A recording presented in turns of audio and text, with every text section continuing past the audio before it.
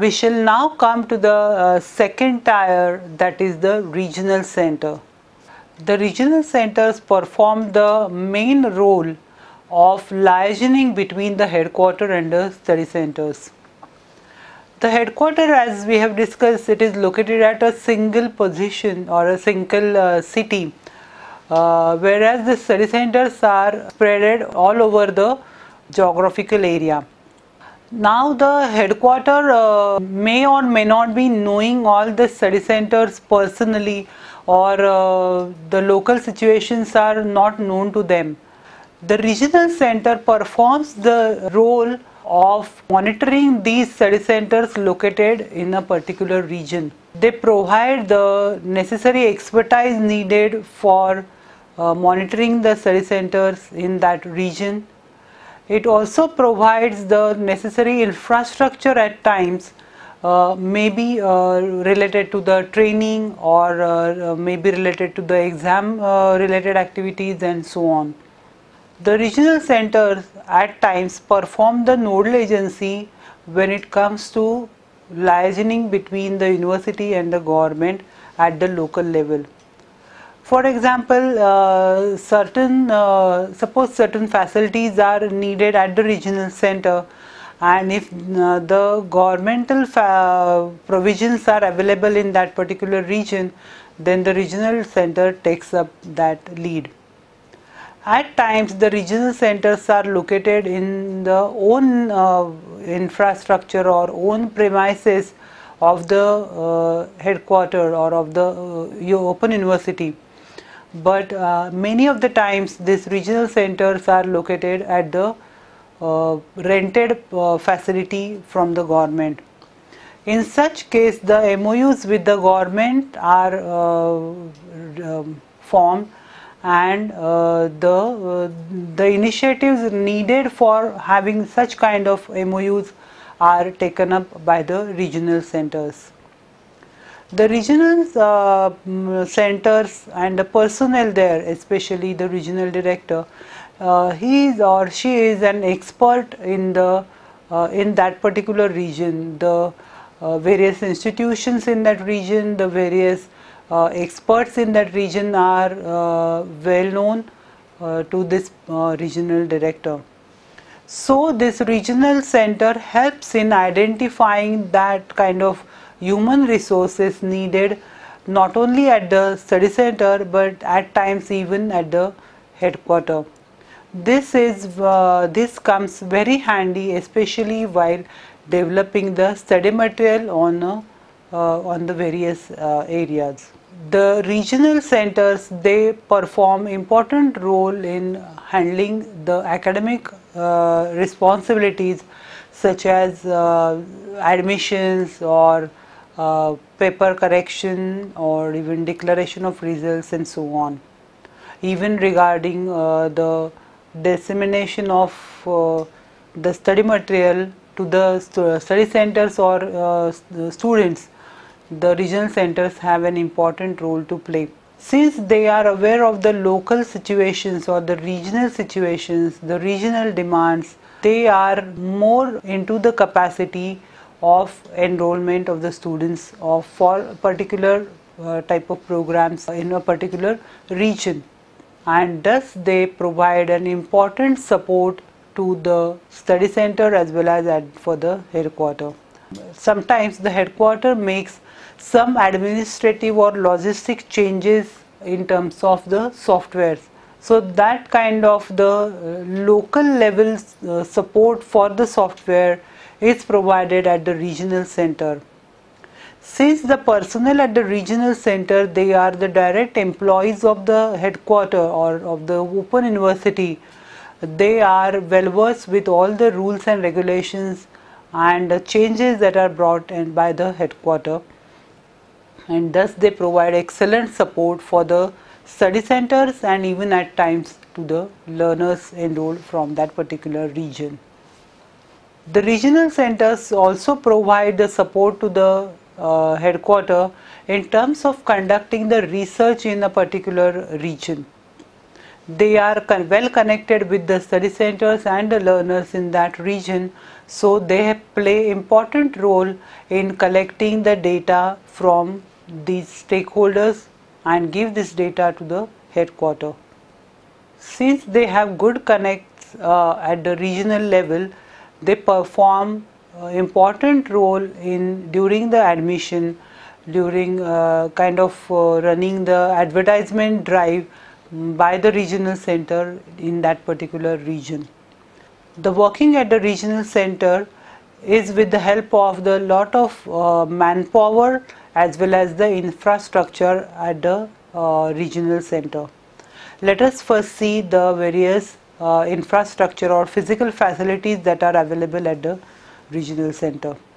The first facility that they need to have is the building of the regional center at times it can be of the this building could be uh, owned by the open university or at times this infrastructure is rented from the government apart from this main building or the building kind of facilities the main infrastructure needed at the regional center is the internet connected computer systems the regional center has an important task to perform to gather the data uh, related to the study centers and the learners in that region to the headquarter, maybe at times to enroll the students uh, for the various programs.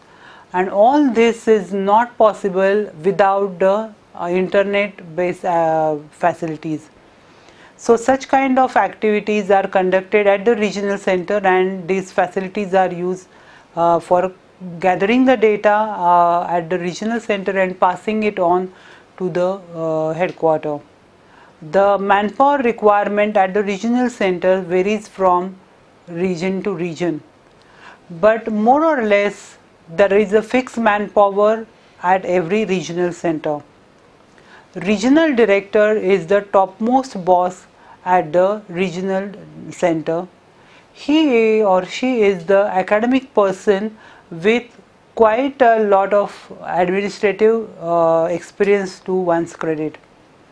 The person is well versed with the various uh, uh, institutions in the region as well as the various experts in that region and the person takes care of all the programs offered in that particular uh, region the person has main responsibilities of supervising the study centers or maybe uh, accompanying the headquarters staff when it comes to uh, approving or disapproving a particular institution as a study center. The regional director is assisted uh, at the regional center with two important persons. One is the assistant registrar, another is the section officer both these persons look after the day-to-day -day running of the regional center and uh, thus help the regional uh, director in conducting the various responsibilities. Apart from these three persons, there is also clerical staff involved and also at times there is a project staff involved at the regional center. The number uh, of project staff depends uh, on the uh, kind of work uh, that is conducted at the regional center, the kind of enrollment is there at that particular regional center. We come to the third tier of the student support uh, services or student support system that is the study center. Study center is the main uh, location for the uh, enrolled students uh, where they are actually uh, involved into the process of teaching learning uh, process where they are actually involved in the uh, process of teaching learning. It is this place where the learners actually interact with the counselors this is the place where their various uh, field work or their uh, practicals are conducted their coursework is conducted the regional center provides the main infrastructure needed for the contact sessions for any particular program. It has an important uh, role to uh, perform uh, when it comes to the teaching learning of the students They provide maybe the study material that is needed for the students. This study material at times is given by the headquarter directly to the students but the study center is also responsible uh, for making the library facilities available to the learners. Through these library facilities at the study center, the learners are provided with lot of reference material which they may go through as a part of their studies. The laboratories are uh, established at the study center for the students in through distance mode. There are classrooms, laboratories, uh, laboratories and even the various uh, administrative rooms like the study center office and so on. These study centers are basically the educational institutions affiliated to the various conventional universities.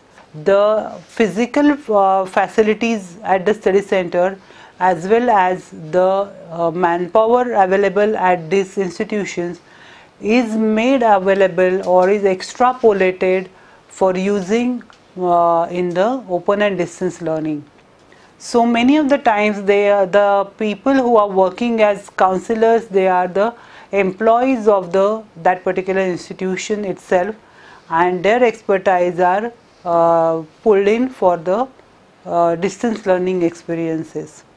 The study center also is responsible for uh, having the formative assessment of the students. So they have to look after that the coursework is done students they have to look after that uh, the coursework is assessed especially that of the formative assessment. Some of the study centers also uh, serve as the examination centers.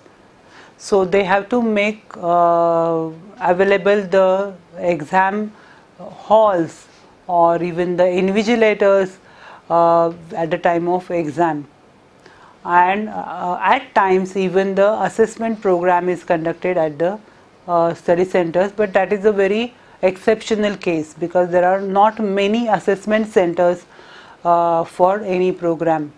The working at the study center is headed by somebody called as the study center director. Study center director is the head of that institution. Uh, in another words, we can say one may be the principal of that uh, college or uh, that institution. So that person has the responsibility of making the various infrastructural as well as manpower resources available for conduction of the personal contact programs. One is also responsible uh, for disseminating the information uh, about the uh, conduction of that particular program at their study center.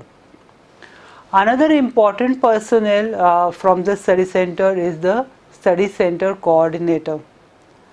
This coordinator is the person who actually looks after the day to day running of the personal contact programs. The person ensures that there are uh, enough number of counselors uh, available for the personal contact sessions. Uh, the counselors are um, conducting their counseling sessions as per the timetable given. The laboratory facilities are available um, as per the need of the program and so on and so forth. So whatever the problems the students face in daily life, uh, or daily studying actually they come across the uh, this study center coordinator for solving their problems. Uh, though the person is academic, the main part of the responsibility is of the administrative types. The actual academic person working at the study center is the counselor. Suppose there are four courses uh, offered as a part of a program, there may be maximum four counselors uh, at any given study center. It is possible that one counselor can handle more than one courses. It is also possible that the study center uh, director or study center coordinator is also uh, taking up a role of, uh, of a counselor but that is the part of the academic responsibilities. The counselor also has to perform the role of that of an evaluator when it comes to the uh, internal assessment or it, when it comes to the formative assessment, the coursework uh, part of the program. The counselor is an expert in the subject, so the uh, manpower in the form of counselor is also used by the headquarter for setting up the question paper or uh, maybe even for uh, assessment purpose. Apart from these academic uh, manpower or academic human resources uh, at the study center, there are some uh, administrative resources also available at the study center. There is one clerical staff who is available who looks after all the filing system and all the logistics uh, related responsibilities. There may be a peon uh, who is uh, required at the study center, maybe some uh, staff for uh, maybe cleaning up the fresh rooms and so on and so forth. There is another uh, kind of staff that may be needed at the study center is the computer maintenance staff. This kind of uh, human resources may not have the day-to-day -day kind of uh, roles and responsibilities to perform, but uh, especially for those programs where there is uh, some computer related activities or where there are practicals uh, to be conducted with the help of computers or with the help of the um, systems on computer then uh, in that case such kind of computer maintenance staff is needed. But many of the time this kind of staff is uh, booked uh, contract uh, contractually and uh, the person may or may not be the regular staff of the um, that institution. Amongst the various kind of manpower that is needed at the study center, the study center director, study center uh, coordinator and the clerical staff. These three persons are the full-time employees of the uh, that particular organization or of the college. But the counselors or maybe the instructor for the practical uh, may or may not be the full-time employee of that particular college. Uh, the per these personnel uh, could be hired on the per contact session or per contact uh, period basis from outside. And thus the program is run at the study center. There needs to be a complete coordination between all the three tiers that we have just now seen the headquarter, the regional center and the study center in order to offer uh, good quality student support services uh, or uh, in order to have a very strong student support system all the personnel at all these three uh, levels or uh, all these three tiers need to work in coordination with one another. Uh, since the success of any uh, open university or uh, success of any program uh, depends on how strong this student support system uh, is, uh, one needs to be really on the toes in order to make the system very efficient. We have seen that the open and distance learning is uh, anytime, anywhere and anybody uh, kind of education. This system has offered a lot of opportunities for uh, various kind of personnel from the society. Yes, it is definitely the education system of today and especially tomorrow. But for making this kind of a system uh, the most robust one, it is equally important that the student support system needs to be very receptive and uh, uh, has to be uh, really tailor made and uh, very sensitive to the needs of the learners. Only this kind of a student support system makes the learning experience worthwhile for the learners enrolled in open and distance learning.